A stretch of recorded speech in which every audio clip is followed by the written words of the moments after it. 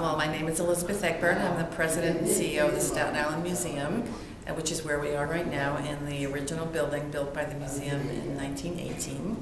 And we're in the middle of our ferry exhibit, which is um, a small exhibit that we're using to sample what people would be interested in when we develop a major exhibition about the ferries. We have a, a diving suit that people use to repair, um, to untangle the propellers, which, which would get tied up with the harbor ropes. The insects here, along with everything else, gives you a nice idea of the biodiversity of the world, and particularly Staten Island, because a lot of the things you'll see here are from Staten Island. And the reaction I get is that, oh, I thought that was found here. So you really find out a lot more about your island home here, about what, what kind of wildlife is found here. A trip to the Staten Island Museum is definitely a nice family outing.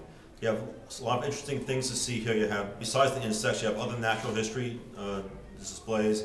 You have the ferry exhibit, you have the Lenape Indian exhibit down the auditorium. So there's a lot here for a family to enjoy.